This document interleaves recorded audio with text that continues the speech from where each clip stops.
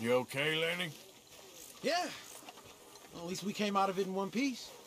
Well, apart from Kieran.